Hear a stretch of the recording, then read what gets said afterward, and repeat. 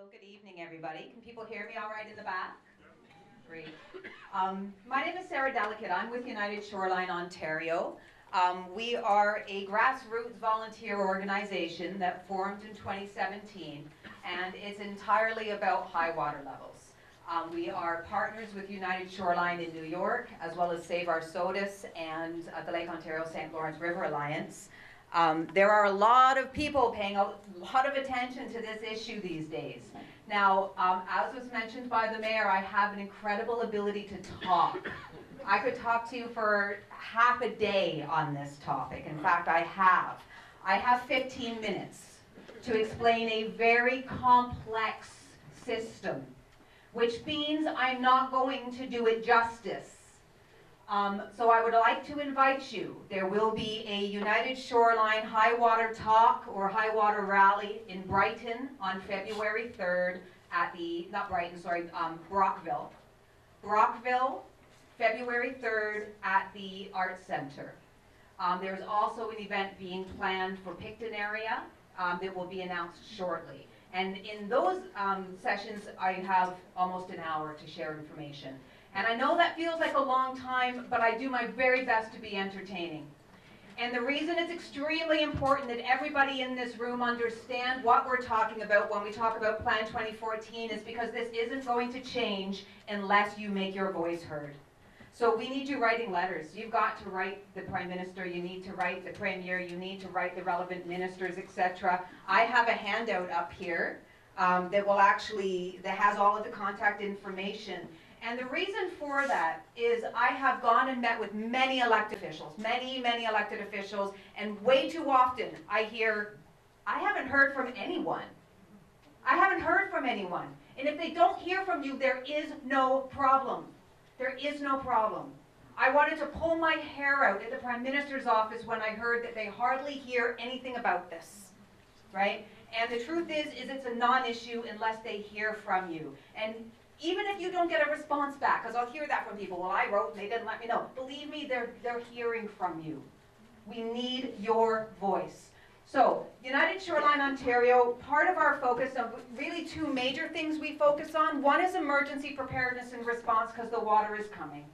The water is coming. The second thing is on Plan 2014. Now, this is my home.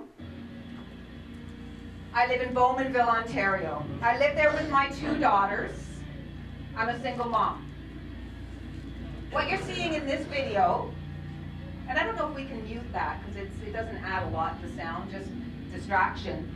Um, in 2017, absolutely nobody knew how to fight this flood. It was a surprise. How many of you knew this was coming and you were well prepared? Okay, so New York had declared a state of emergency. New York had declared a state of emergency, and um, can we make the video play, though? Without the Without the sound, yeah. So, um, and we called, we called our, our fire department and, and the mayor and other places and said, what are we gonna do? And we had no idea. And in 2017, um, we all scrambled to fill sandbags. Uh, the salt, the sand that we had was road sand, so it was salted and contaminated many water wells and killed trees and so on. And um, we didn't know how to build the walls. They were built wrong. So residents did absolutely everything they could in building the walls. We built them too close, we built them like a brick wall, and the lake laughed at them.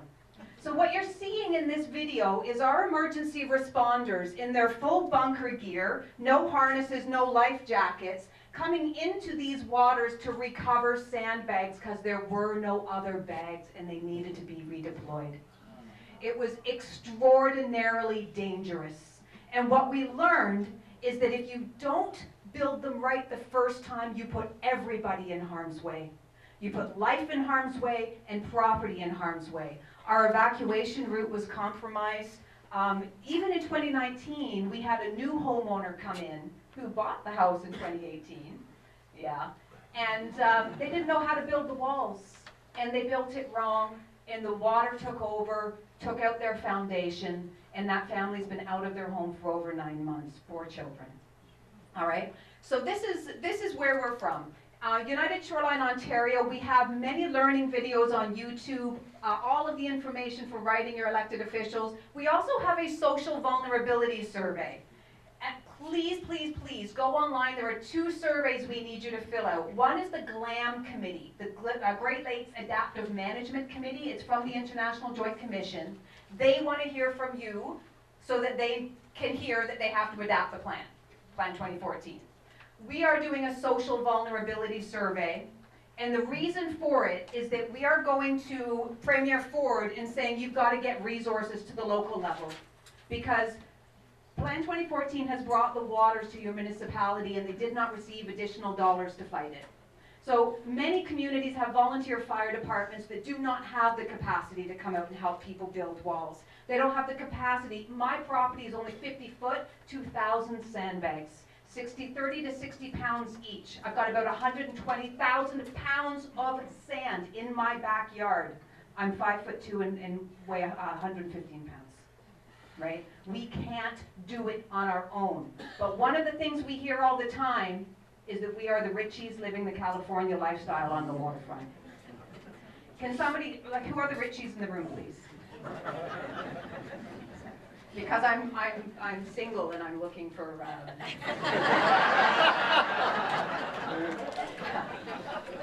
But you must be able to lift 60 pounds.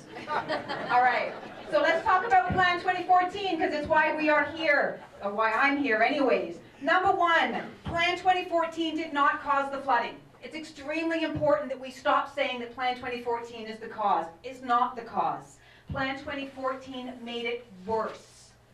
It didn't bring the water, all right? So it extends the length of the flooding and it makes the water higher. Two, yes, we received record rains. Yes, there was epic snow. Yes, Lake Erie is at record highs. All of that is true, and all of that is inflow. Plan 2014 is not an inflow plan, it's an outflow plan. So we're forestalling. Yes, there's lots of water. Let's stop talking about that. We want to talk about what you're doing with the water once it's in the system. Plan 2014 is an outflow plan. Three, there is no magical plan that will stop all flooding. It doesn't exist. You are going to flood. In fact, in 2017 and 2019, most of us would have had some flooding, right? There's no magical plan that would have stopped it. So that's got to be part of our narrative as well. And number four, one of the things that we're hearing a lot is that the IJC has been deviating from Plan 2014 for over a year. Not true. Not true. The IJC um, only granted permission for deviation on November, um, I believe it was 19th of 2019. So, and even then we didn't start deviating. They didn't deviate until shipping was closed at the end of December. We started true deviation January 1st for a couple of weeks until we needed to close the dams again for ice formation. So we have been operating under Plan 2014. Now the good news is, is that coming into spring, we have full authority to deviate. So let's see what happens. This is what this looks like. Plan 1958 DD was the old plan, the plan that um, managed the lakes for over 50 years. We built our policies, our setbacks, all of that stuff was built on this plan. So what you see here, and I know it's probably very difficult for those of you in the back, and that's why you're going to come to Brockville and see it on a giant screen and have it, have it completely explained to you. The top gray line is the flood line, that's the high water line. The bottom is the drought line. Plan 20, 1958 DD managed it to a four foot range. Now you can see there's, we, we didn't always do it. They weren't, it wasn't always successful, but they did a great job. Plan 2014 wants higher highs and lower lows by design. Now the pamphlet on this will tell you it's about wetlands, but it's not just about wetlands. Um, and again, I can't get into all of that today, but we actually end up with 400% more high water events under Plan 2014 than Plan 1958 DD, by design. So we went from a four foot range to a seven foot range in the plan. And this is at still water. So if you take uh, this kind of extra water and then throw in two feet, three feet, four feet waves, we're in trouble. Okay? So there are three things that you need to understand about Plan 2014. Trigger levels, F limits, and L limits. And this is why it takes me an hour to tell this story. You're gonna get it in like a minute, okay? But it's complicated. The first thing is trigger levels. These trigger levels did not exist in the old plan. And what you have here, the, oh, the diamonds across the top here, there's these little, this black line, that blue line is the high water mark. So these black diamonds represent um, the uh, monthly maximum highest level that we, that they want. Right, that's, that's not good, none of that's good. But this red line with the dots are, is called the trigger level. And under Plan 2014, Lake Ontario has to reach above that trigger level before they will deviate from Plan 2014. Now, what you need to notice is how close the red line is to those black diamonds, right? It's like taking a tractor trailer going 130 kilometers an hour and asking it to stop 10 feet from a red light. That's what these trigger levels do. Because by the time we have reached that level, we cannot let the water out fast enough. We can't solve the problem. Because one inch out of Lake Ontario is 11 inches downstream in Montreal. So if you open the dam here to start bringing this water down, you're flooding out Montreal. So the plan in its, in its design with trigger levels causes an incredible difficulty. Okay? So um, trigger levels didn't exist under Plan 1958 DD. It is the shipping industry that requested the trigger levels. Second thing we need to understand, the F limit. So the F limit is ultimately about balancing downstream and upstream interests. So, because of course Montreal is downstream, right? And we built this dam that now allows more water to go out than it did before the dam, pre-project. We would have flooded worse if that dam wasn't there. That is true. All right? So we do derive some benefit from that dam. But how much benefit are we deriving compared to other stakeholders? That's the question. This is a balance question. So what happens is there is, under this plan, um, it's called the, the upper trigger level, which is the shared pain point. When we hit that blue line, the pain in Quebec and the pain in Ontario is roughly the same. Okay? The problem is, is Plan 2014 has a hard stop at this blue line. So the orange line that goes way up, that's Lake Ontario.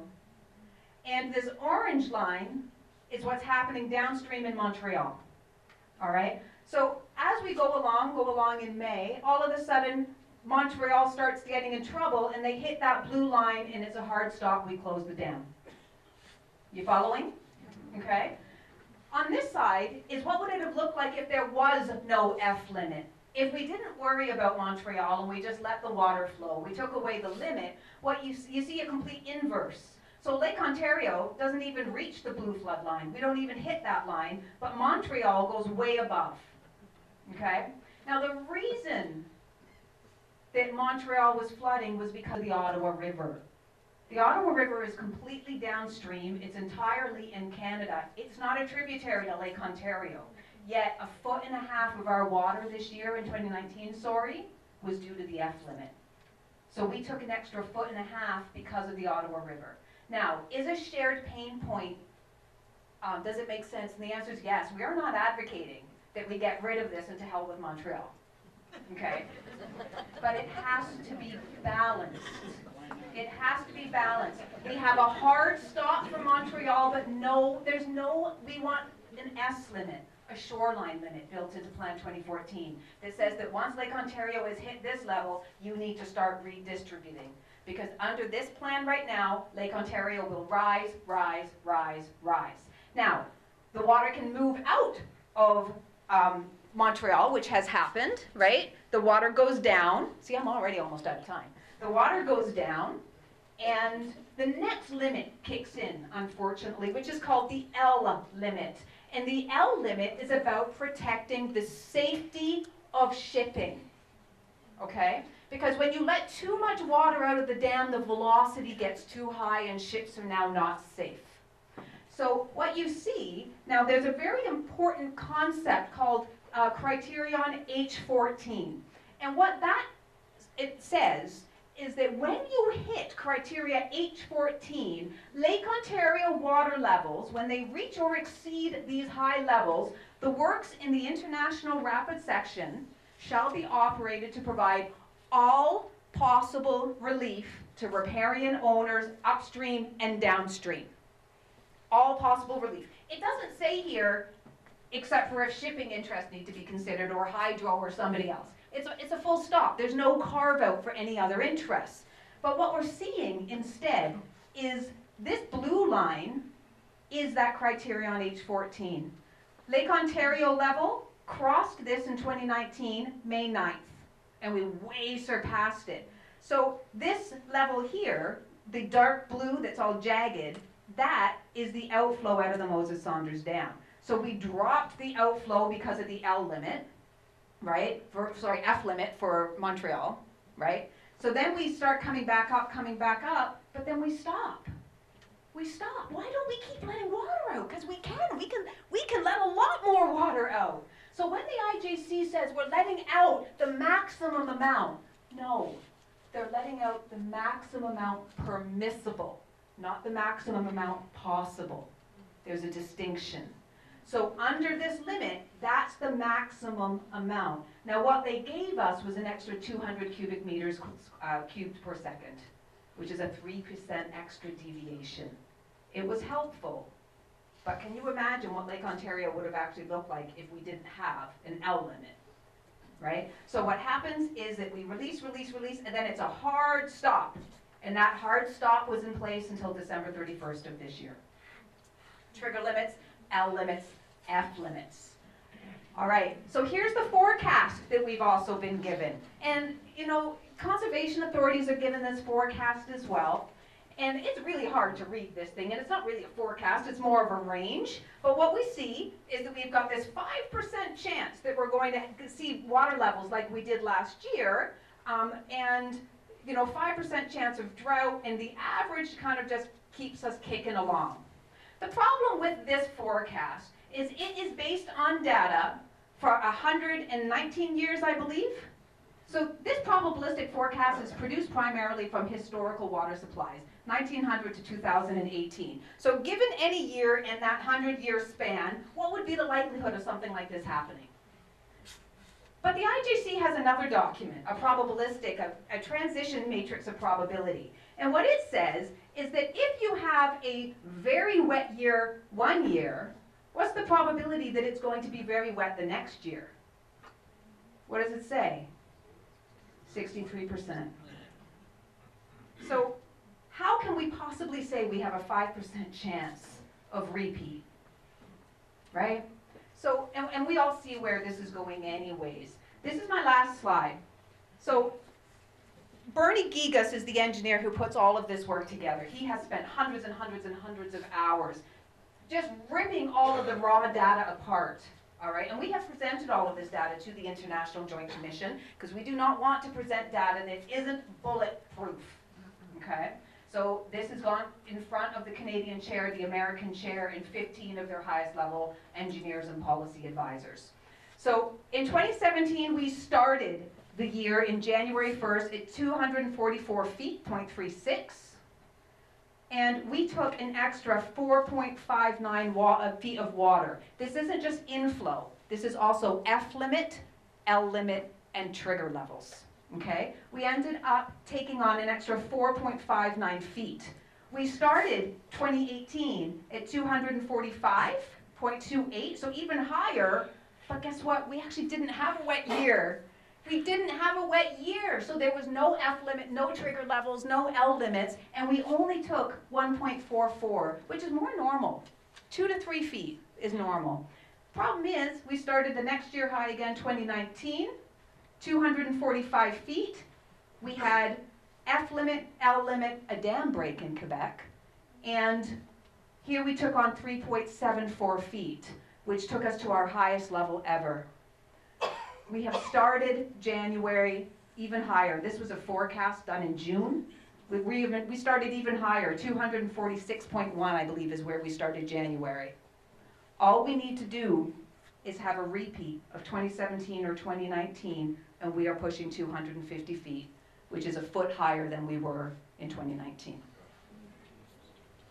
I know nobody likes that part, okay? So what are our asks?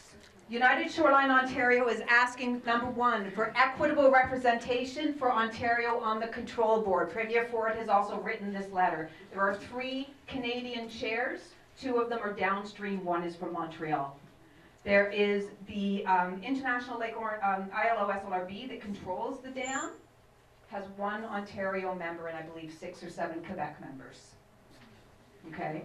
We're, it's unbalanced. We are not represented. Number two, that the IJC revoke the unbalanced policy plans of Plan 2014 that both worsen and extend the flooding and replace them with truly balanced policy that distributes injury and benefit fairly to all stakeholders. Three, that conservation authorities urgently streamline their processes and policies to enable homeowners to do what is necessary to effectively protect, restore their safety, their homes and property from flooding. No, but believe me, um, it's different all over. It depends on your conservation authority. It's, it's, it's, there's no standard kind of approach. Four, a provincial standard for municipal emergency flood response with the required provincial fund, uh, funding and resources to support it. In Clarington, our emergency responders pulled out all stops, all stops. We have over 100 people signed up on a flood brigade that's on rapid notify. Um, we have, they brought in four um, nonprofit organizations, ADRA, St. John Ambulance, uh, I can't remember the other two. High schools were recruited to build bags. We deployed tens of thousands of bags in partnership with the community. So we have a community organization, extremely well organized, and together we, we protected our community. But then you go to other places where they don't even get sand and bags, you're entirely on your own, right? It, but we're all the same taxpayer. But let's be clear, this water has, so to protect the of shipping, the risk has been brought to you. And I can tell you that your municipality has not received any additional money to be ready for that. So the last ask is, before, sorry, number four, is that there be money assigned to the municipality to actually help, to actually, like many communities, they're volunteer fire departments, right? How do you do this? So anyways, I've gone way over. Thank you so much for your uh, time.